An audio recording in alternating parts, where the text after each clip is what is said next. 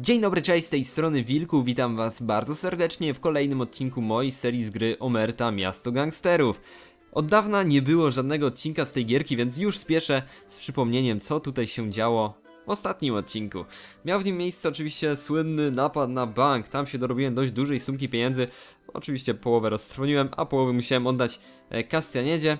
E, po tym napadzie miała miejsce taka mała bójka, w której pokazałem lokalnemu gangowi, e, gdzie jest jego miejsce. Po czym już zabraliśmy się, o ile dobrze pamiętam, właśnie za tę robotę, o której teraz jest mowa, czyli mam znaleźć przywódcę lokalnego gangu. Sprawdziłem już jedną lokację, tam go nie było. Już doktorek i, i Złota Rączka wybrali się e, w kolejne i zobaczmy z czym przynieś, co, co mi tutaj przynieśli, o czym mnie poinformują. Okej, nie mam pojęcia dlaczego Wyskrobek mnie informuje o tym, co, co znalazł doktorek. W każdym razie mm, w tym miejscu nie było przywódcy, znaleziono 14 sztuk broni palnej, co jest w sumie dość dużym dla mnie problemem, bo powierzchnię magazynową mam cholernie małą. I będę musiał to chyba jakoś sprzedać. Co mówi złota rączka? Znaleziono 7 skrzynek trunku, czyli i tu e, nikogo ciekawego nie było. No trudno, ale widzę, że mi się tutaj Xik pojawił. Nowe miejsce. Hmm. To jest chyba ostatnia lokacja, którego, którą y, musimy sprawdzić. Dobra, niech będzie Wolf. Okej, y, zlecenia. Mm, tutaj sobie zerknijmy na to, bo naprawdę widzicie, jest problem. Trzeba coś tu sprzedać. Mam dużo trunków, więc może z Lady Cunningham tutaj spróbujemy e, pogadać. Okej, okej, okej, okej. Co tu mogę zyskać? Tylko wilku coś może mi dać, bo ma samochód. Nie wiem po co i kiedy mu dać ten samochód. Nie, już sobie chyba przypominam, do, do której z misji był on e, potrzebny. W każdym razie zobaczmy, co tutaj się stanie w tym, o, magazynie portowym, bo do niego wysłałem wys yy, Ulfa. E, w sumie mogłem kogoś innego wysłać, może tam coś by dało się znaleźć i może by, by jakaś inna, inna tutaj z moich... Yy, yy, inny z moich członków, z członków mojego gangu mógłby coś tutaj ciekawego załatwić. Pięknie, Wilkus sobie poradził, wszystko sprzedał. No i dobra, co teraz powie Wolf? Szefie, problem z głowy, zajął się gościem, dopadłem go w magazynie, nawet się specjalnie nie bronił. Reszta detale nie będę cię nimi zanudzał. Szybka i czysta robota jak zwykle. Aha. To tak łatwo poszło, szukanie tego przywódcy i... No zrobienie z niego... No, no, no tego, czego on nas Castaneda oczekiwał. Tak już wiem, dopadłeś rania, nigdy ani przez moment w ciebie nie wątpiłem. No, no jasne.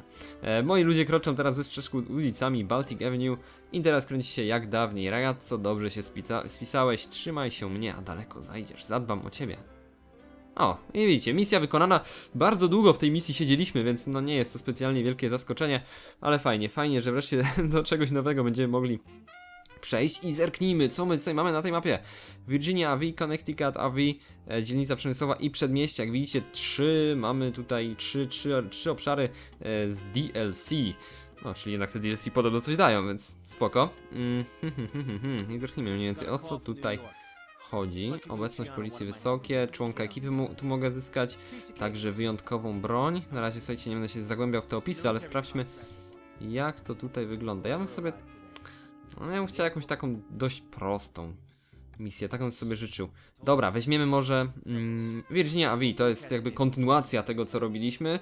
E, zawartość z normalnej gry, więc liczę, że nie będzie takiej super trudne. Ostateczna rozgrywka, chłopaki powiedziałem Lujemu Castaniedzie, że nie możemy już dłużej podcierać mu tyłka. Słusznie.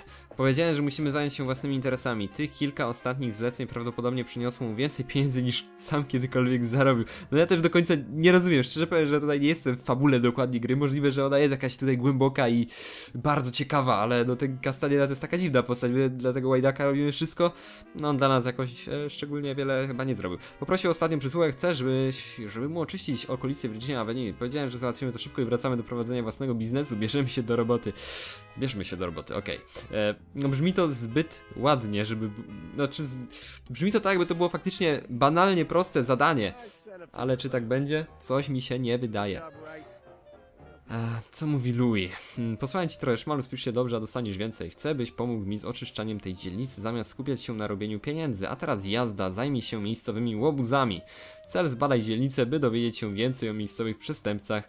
Efekt Louis będzie co jakiś czas wysyłał ci pieniądze. No dzięki Louis, ty łaskawco. Dobra, pięknie.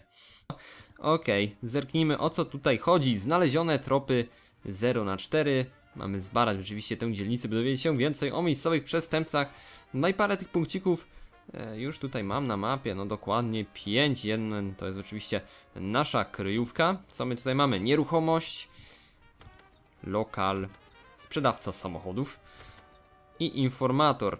Mm, od informatora oczywiście zaczniemy, ale w sumie zanim do tego przejdziemy, no to przejdźmy do rzeczy tej, o której już była mowa, czyli o awansie. To obiecywała ta misja, więc dlatego też no tak, o tym nie mówiłem, ale to był oczywiście jeden z powodów, e, dla których się zdecydowałem na robienie tego.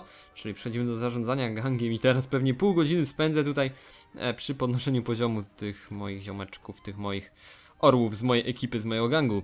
Okej, okay, trochę tu jest rzeczy do wybrania. Mm, ja już się troszeczkę nad tym zastanowiłem, muszę wam e, się przyznać.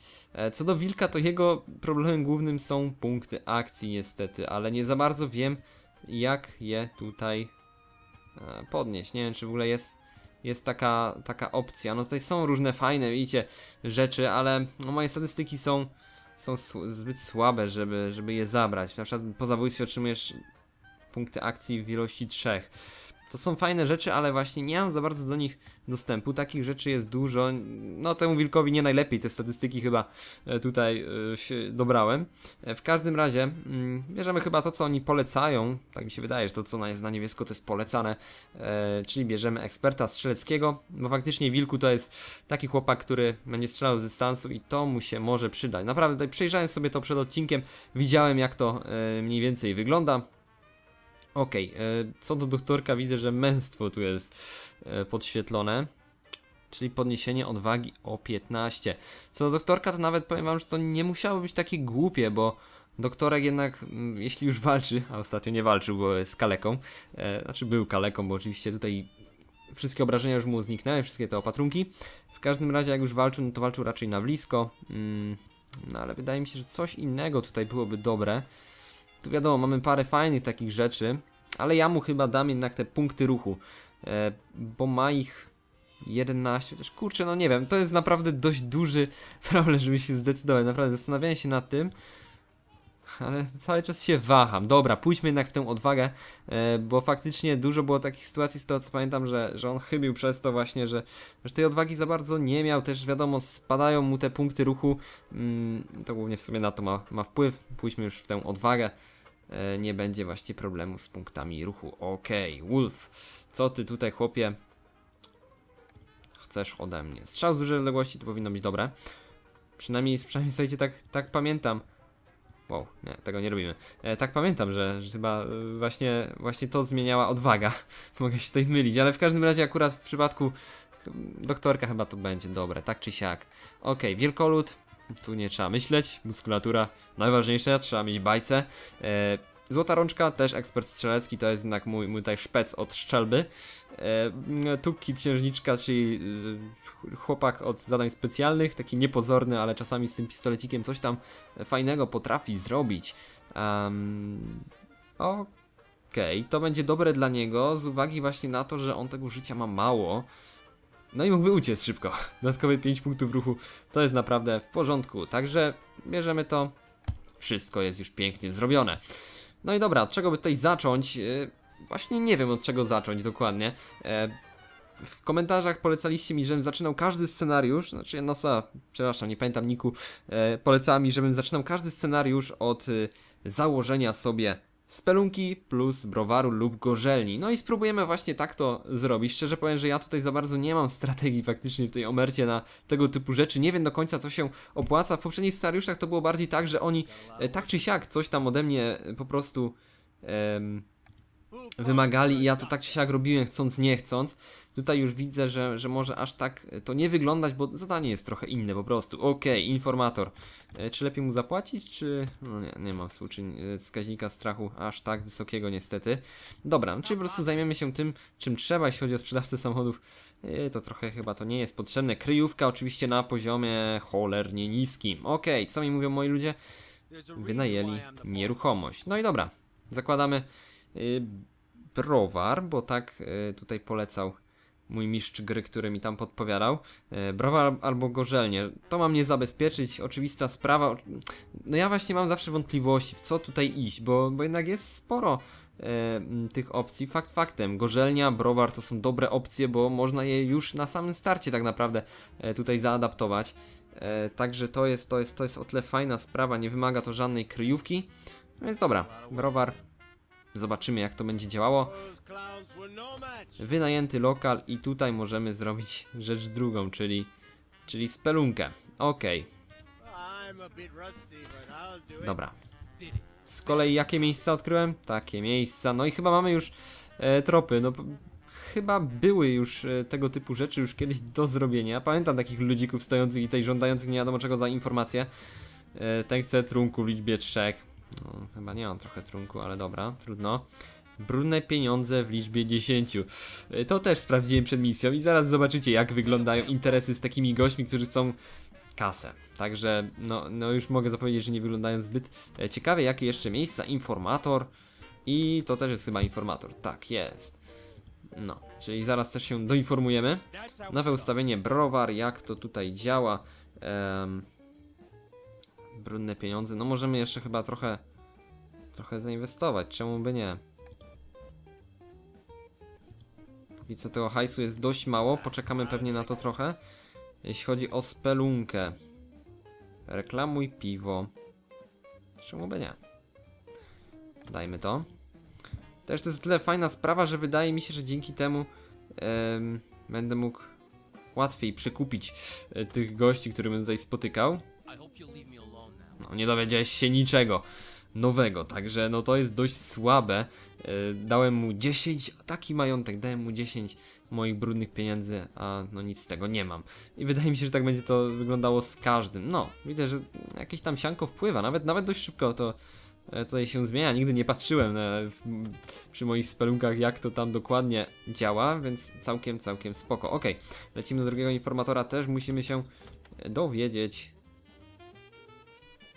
co tam u niego słychać, co on nam może ciekawego powiedzieć. Okej, mm, trunku niestety nie mam, może mogła to być jednak gorzelnia. No nic, w tej chwili gorzelni nie mam, zapłacimy. E, liczę, że na tym piwku coś tam się jednak da radę, czego, czegoś tam uda mi się dorobić. E, kolejny informator, czego tym razem on chce? Piło w ilości 10, no to w końcu się dorobię tego piwa, widzę, że ono przybywa, ubywa, wiadomo, mam spelunkę, która no to piwo sprzedaje, więc więc y, też daje mi zyski, no ale piwko y, schodzi.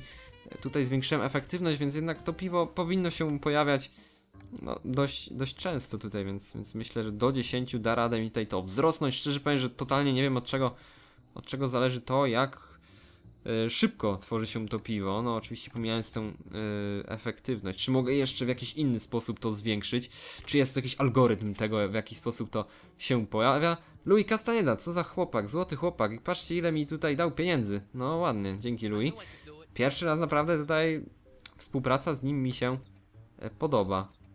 Okej, tu mamy, e, widzę od razu obok informatora lokal, e, z który też możemy sobie wynająć i w sumie jakieś biznesy kolejne porobić. Nieruchomość, czyli też jakieś duże biznesy można tam porobić. Mm, działka budowlana, aha. Czy ja kiedykolwiek działkę budowlaną kupiłem? Chyba jeszcze nie, może sobie to sprawdzimy. Spelunka, mam swoją, więc nie, nie potrzebuję. Nie no, może faktycznie opłaca się tam e, coś mniej miłego e, zrobić w tej spelunce, którą tam widzieliśmy. Który to jest? To jest ten? Czy ten? Ten. E, piwo w liczbie 1, ok. Może za piwko coś da radę tutaj załatwić. Sprawdźmy. Dogadali się? No nie bardzo. Kurde, tylko browary tracę. No, no nie, no nie podoba mi się to. Tu jest kolejny gość. A, brudne pieniądze. Nie, naprawdę, słuchajcie, tych, w którym chodzi o brudne pieniądze i, i piwo chyba sobie na razie zostawię. Sprawdzimy innych. Tak będzie chyba po prostu prościej. Okej, pogaduchy. Mm, ten gość no niestety nie zadziała tutaj, bo czego, czego te pogaduchy wymagają? Wskaźnika sympatii, no który zbyt wysoki, no niestety nie jest.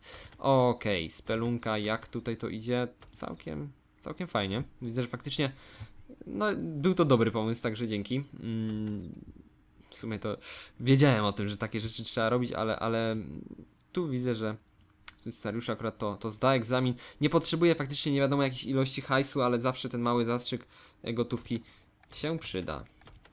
O. E, aha, akurat zeszło mi piwko, kurczę. Bo widzę, że mogę tutaj dostarczyć piwo i też informator ze mną będzie współpracował, ale czy to się bardziej opłaca od y, wykorzystania brudnych pieniędzy? No nie wiem. Rzućmy, rzućmy jednak te brudne pieniądze. Póki co ciężko, widzicie, idzie szukanie tych tropów. Ja już myślałem, że to bardzo łatwo będzie szło, a no, tak, takie piękne nie jest to życie. Dowiedzmy się dalej od, y, od kolejnego informatora, e, co jest tutaj grane w mieście, kogo jeszcze możemy spotkać, kto nam może sprzedać jakieś ciekawe informacje. Wow, teraz to się wysypało tych, tych tutaj ludków e, spod bramy. E, trunek, wszyscy chcą trunek, no to może ja zrobię już tę swoją gorzelnię. Czyli kolejna nieruchomość, kolejne no, zainwestowane pieniądze powiedzmy. Dobra. Mm, co my tu mamy? Mieszkanie funkcjonariusza, który to chce dla nas co zrobić? Przekłóstwo broń po przysługach. Takie opcje mamy. Okej. Na tropie trunek. Piwo. Dobra, tych, tych piwnych to później jeszcze będę zaczepiał, zobaczymy, może faktycznie e, któryś z nich jednak udzieli mi jakichś informacji, może nie ma tej reguły, ale tak mi się coś wydaje, słuchajcie, że naprawdę y, nie za bardzo chcą ze mną współpracować ci, znaczy współpracować może chcą, ale nic nie wiedzą, więc więc, więc nie warto z nimi współpracować, y, mówię tutaj o tych, którzy chcą piwko albo albo jakieś pieniążki, także dobra, mm, to by było chyba na tyle. Po prostu założę tę gorzelnię. Kasa jest, widzę, że cały czas tutaj gruby hajs zarabiam.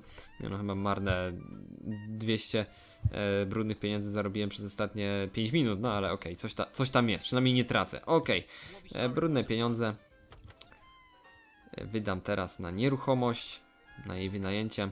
No i otworzymy gorzelnię, zobaczymy jak to będzie funkcjonowało. Wiadomo, czego nie wykorzystam to się sprzeda, więc tak naprawdę stracić to chyba nie stracę. Okej, gorzelnia.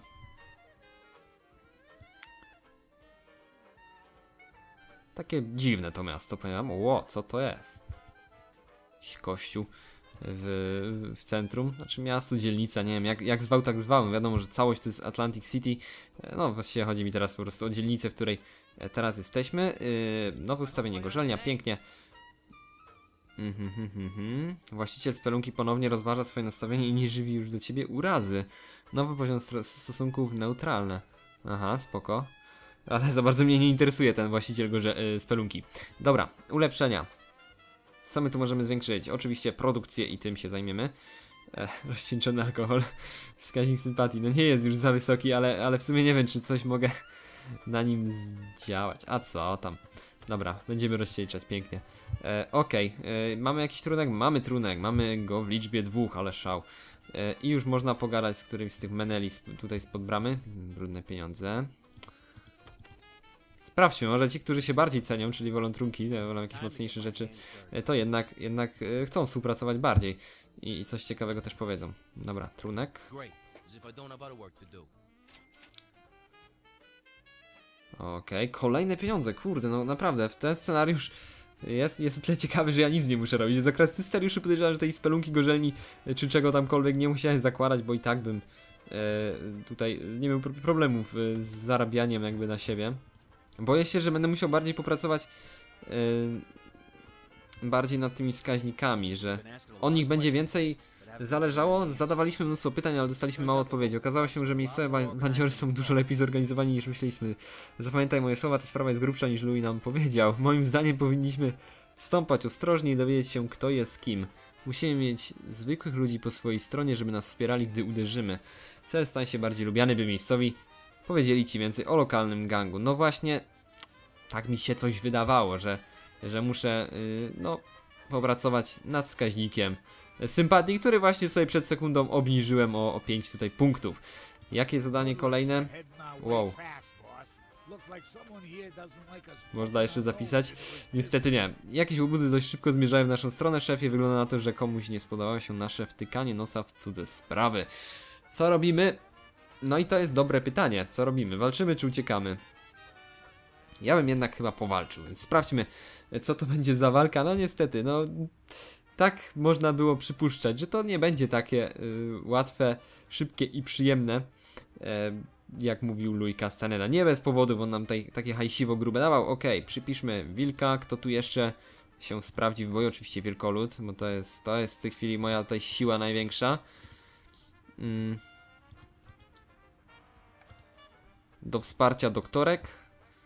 Do akcji jeszcze pójdą Wolf i Złota Rączka. Myślę, że takim składem jest szansa, że coś tu ugramy. Wreszcie jakaś bitka, ale zobaczymy, czy to będzie coś ciekawego, czy coś takiego typowego. Wow, gdzie my jesteśmy teraz? Pięciu przeciwników, e, gangsterzy, gangsterzy, bandzior i kieszonkowiec. No, oczywiście ta ucięta nazwa, nie wiem dlaczego. Okej, ale y, rozlokowanie jest no dość średnie. A gdzie jest ten złota rączka? Tu go mamy. Tu go mamy i nie wiem w sumie. Hmm. Chwila, chwila. Ten jest z baseballem.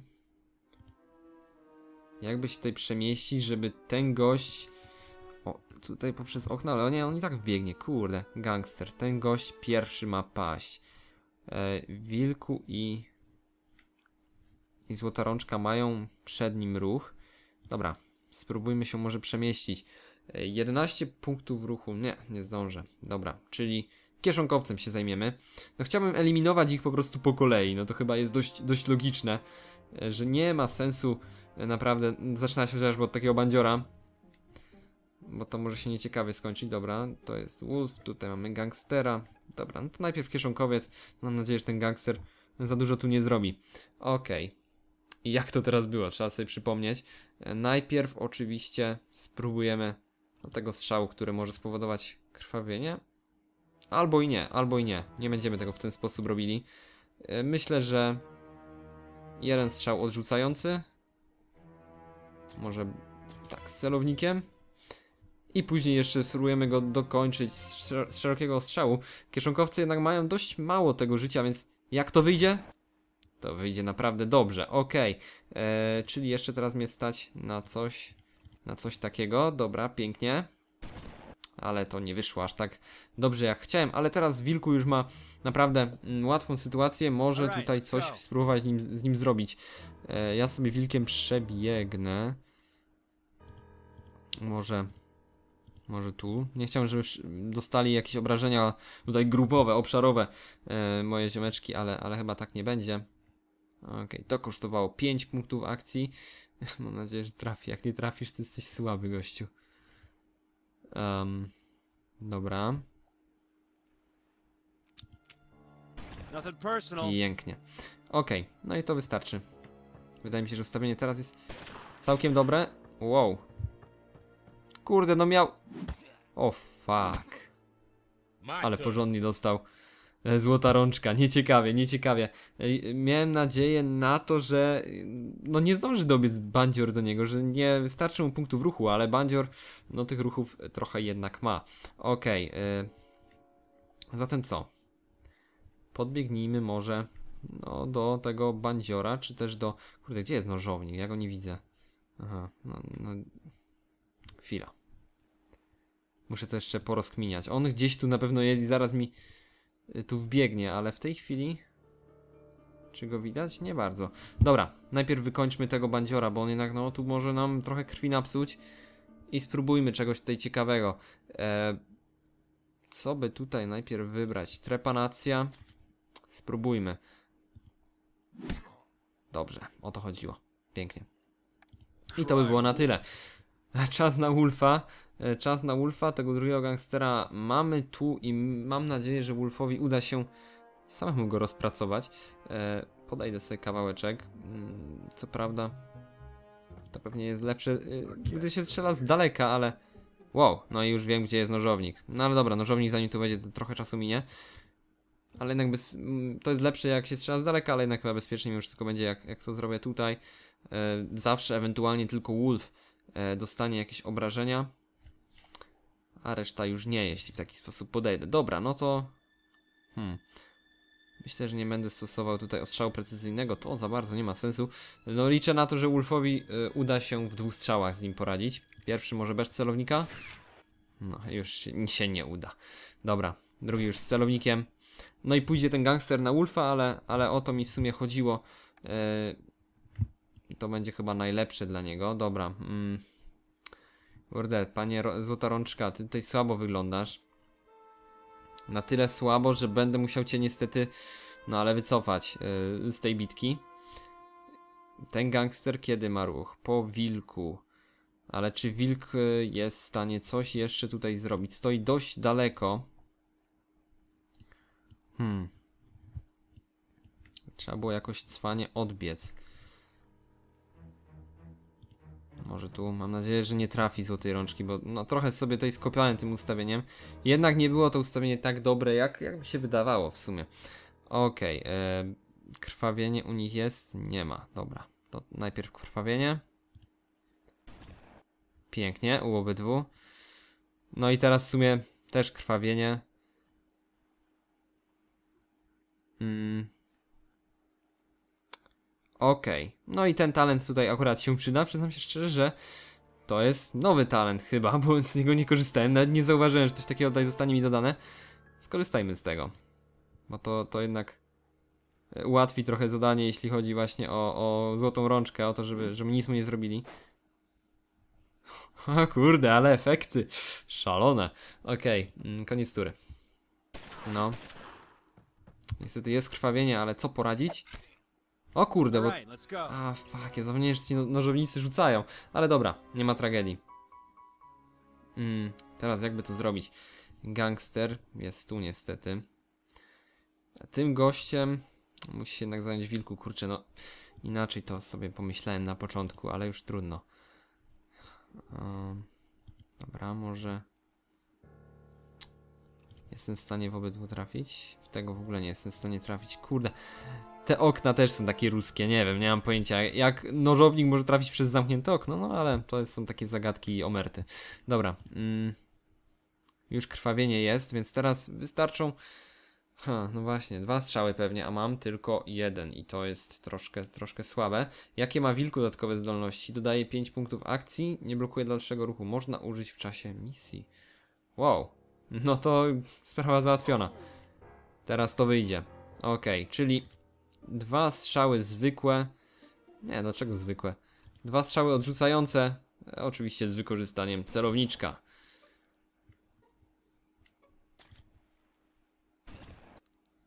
Jezu, ale na farcie przeżyje chyba to. No już trudno.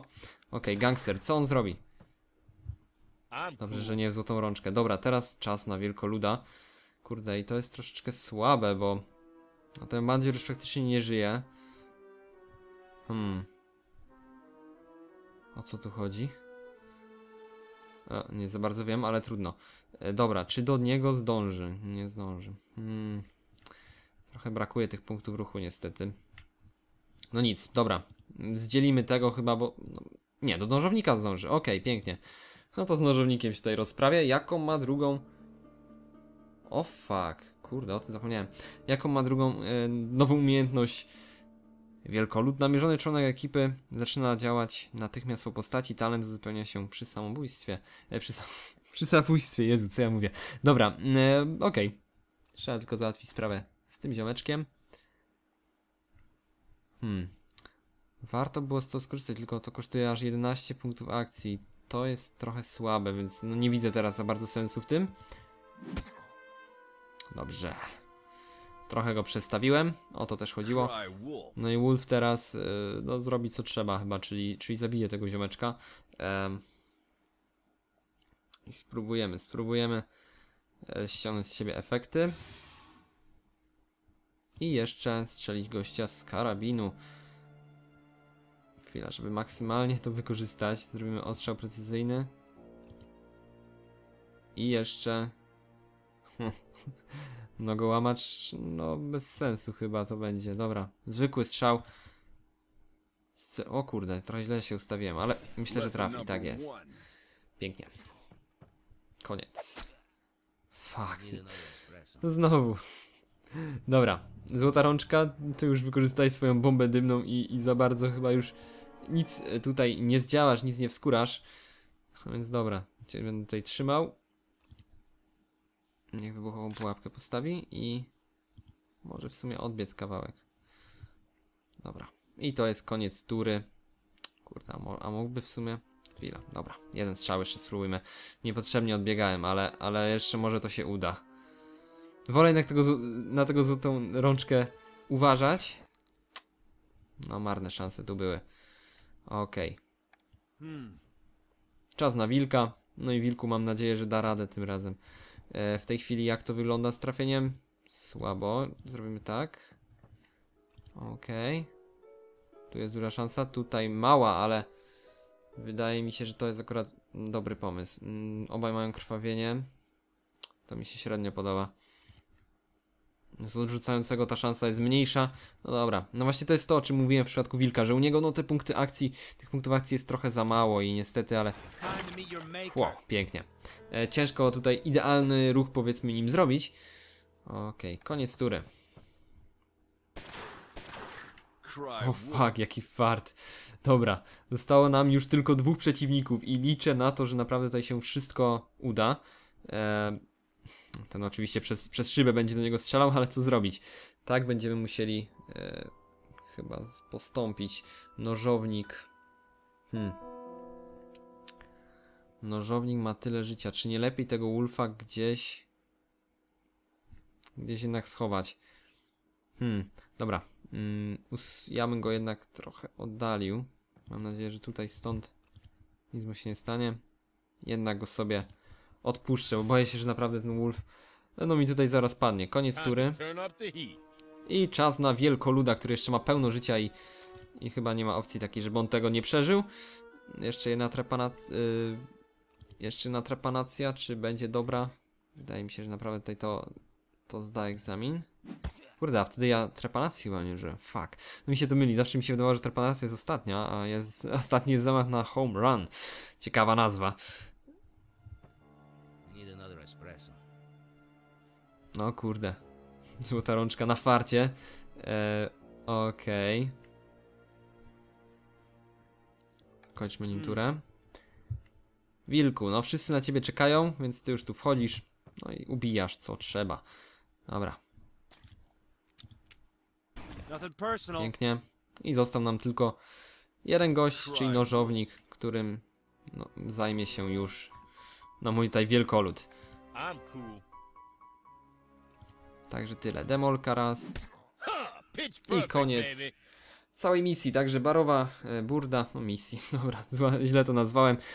Trochę na farcie, ale się udało, wilku, trzy zabójstwa, niemożliwe, tym razem się wykazał chłopak.